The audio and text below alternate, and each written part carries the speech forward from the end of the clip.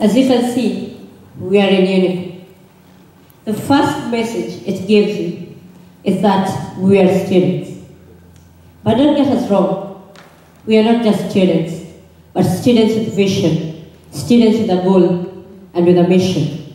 And that's why we are here today. Hello, I'm Nick Masina Kioko. And I'm Kenneth Michuki Njoroge. We are here today to speak about the place of community service in Starehe and the world at large. But first of all, we must understand why we have to offer community service.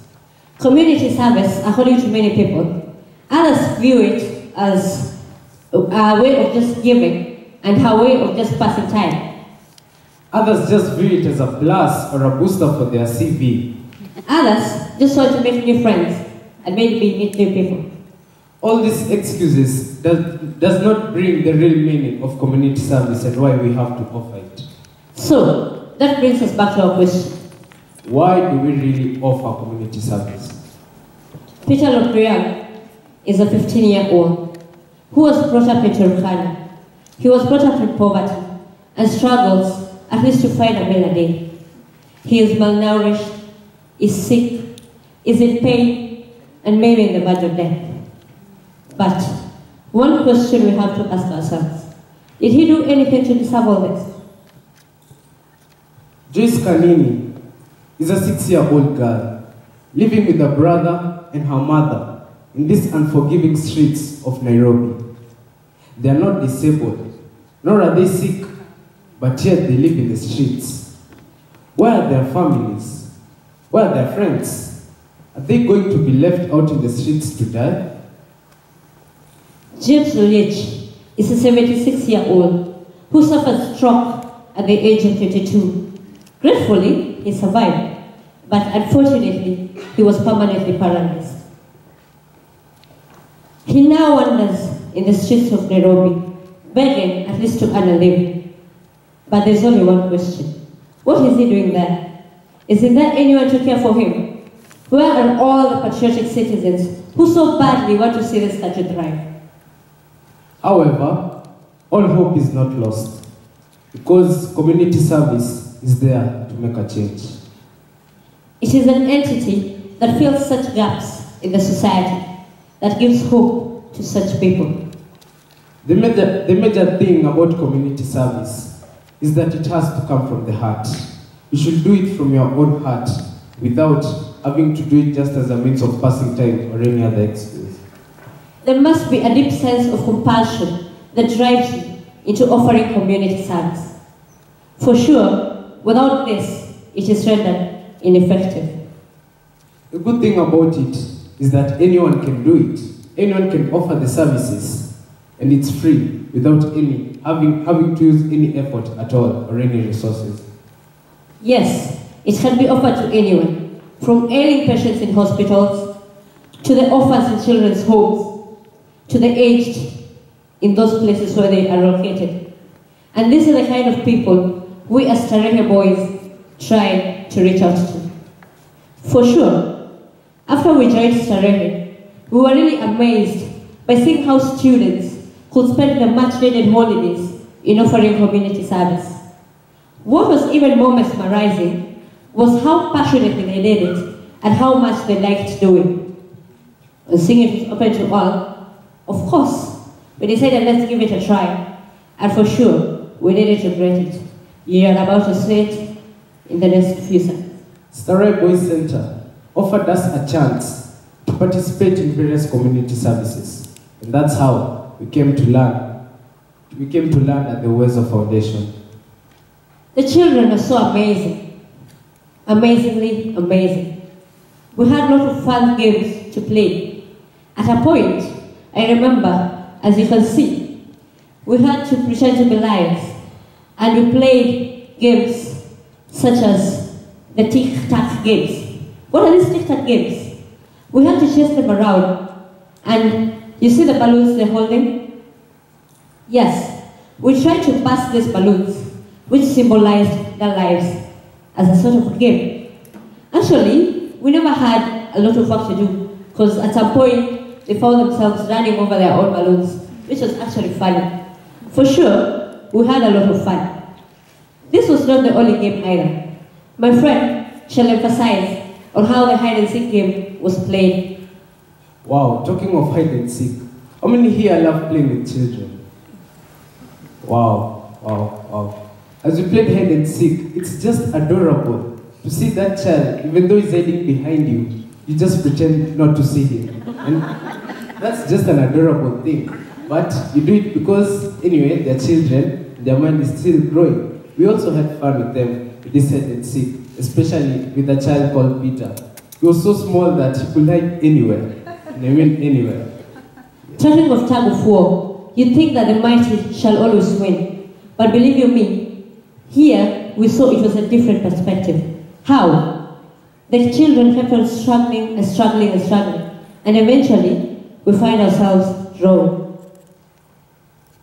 This was our first ever community service, as we say, and we found ourselves landing at the Uwezo Foundation in Canberra, which we were proud to be part of.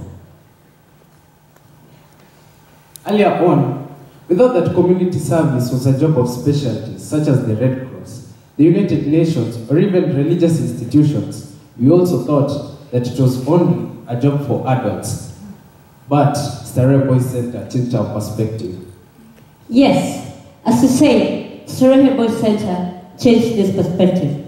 We came to know that anyone can take part in community service regardless of age and specialty. And for sure, this encouraged us all. Starehe offered us a chance to visit this institution, the Uwezo Foundation. For sure, it was one amazing great thing. That day, we were grouped into groups of four. Each group had a different role to play. I think my friend will talk uh, on the first role, which was painting on walls.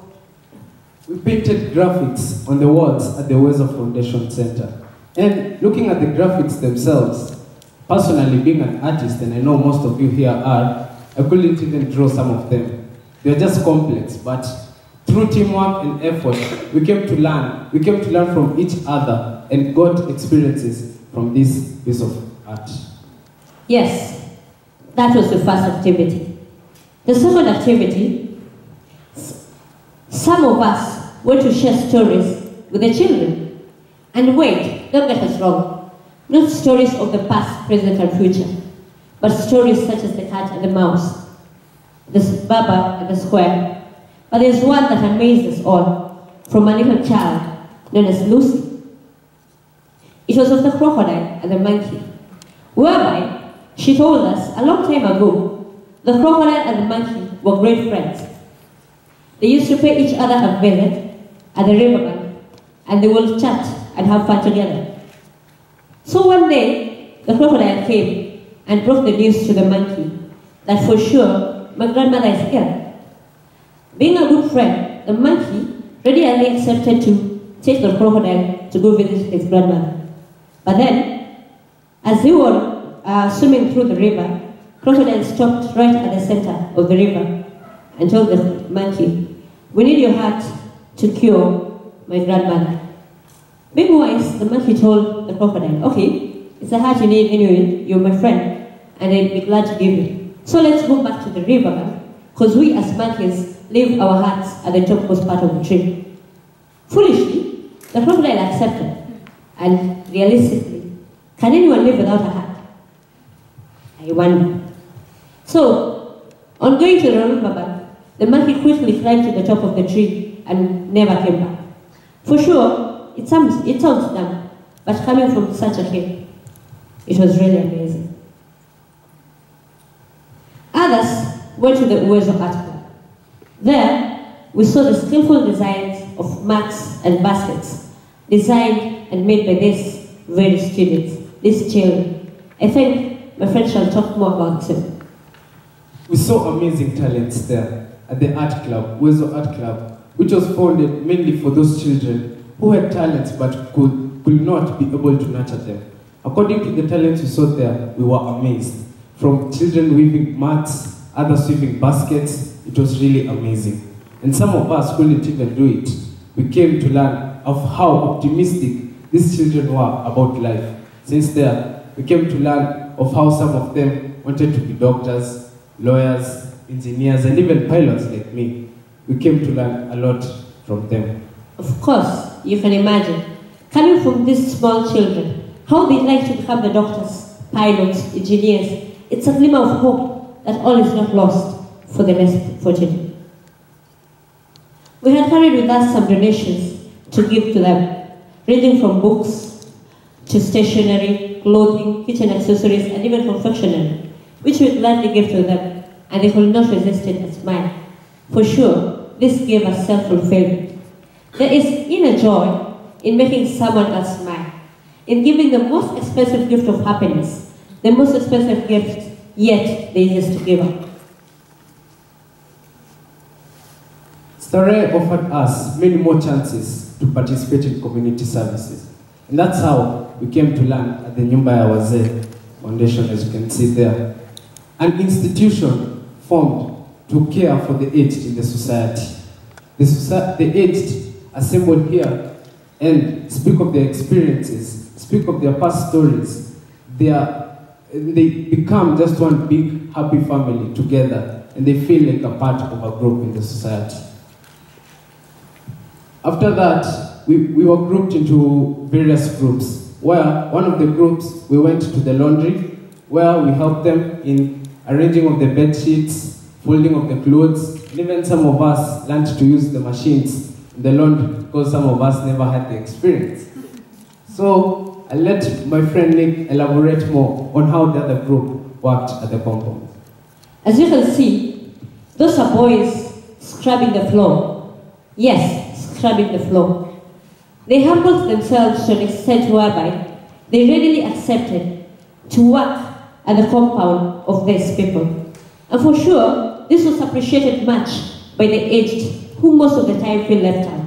At least, by such works of charity, they feel cared for, loved, and that they belong to a bigger family. After that, the other group went to the kitchen. And as you can see, my friend there, his name is Jack Nyange. If you could please stand up for the crowd see you. Yes, he was among us, and he helped out in the kitchen as well as most of us did. Some of us cooked, like him, you can see was chopping out, and others even went and helped the chefs there and learned a lot of cooking. It was a real nice experience, a memorable one that we couldn't forget. Yes, as we worked there, we got to realize that through such works of charity, these aged who always feel left out and feel uncared for now feel cared for, loved, and that they belong to a bigger family. You can imagine of a situation whereby one of the aged was sharing with us the story of which he lost all of his children and only remained with one. The one, he tried to support that one child with all his resources, and at last he went to study abroad. But unfortunately, sadly, that child went and decided never to come back. What do you expect this old person to do? For sure, he'll feel down. But of course, through such works, he'll, his spirit will come up again. So sad.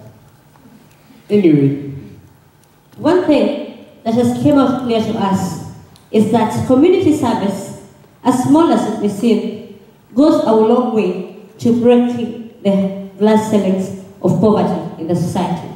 How? Let my, let my friend explain that. through giving, many receive. And through receiving, many perceive. Many perceive the society to be a caring and a loving place for the less privileged, for the aged, for the orphans out there in the society. Through our love and our care, we show them that they belong, that they are not left out, that they belong to a bigger family. Living standards go a notch higher and a notch higher step by step as many get transformed by charity. It is our heartfelt wish that you people join hands with us towards supporting the less privileged in the society. Let's join hands and help them out of their situation. Imagine what the world would have been like if we only joined hands and supported the less privileged other than isolating them. As it is said, the heart wants what it wants. And there's nothing more the heart wants more than love. Remember, the journey to a thousand miles starts with a single step. And for us, we've already packed and ready to begin the journey. So, what do you tell them, Nick? Hurry, let's go. Thank you.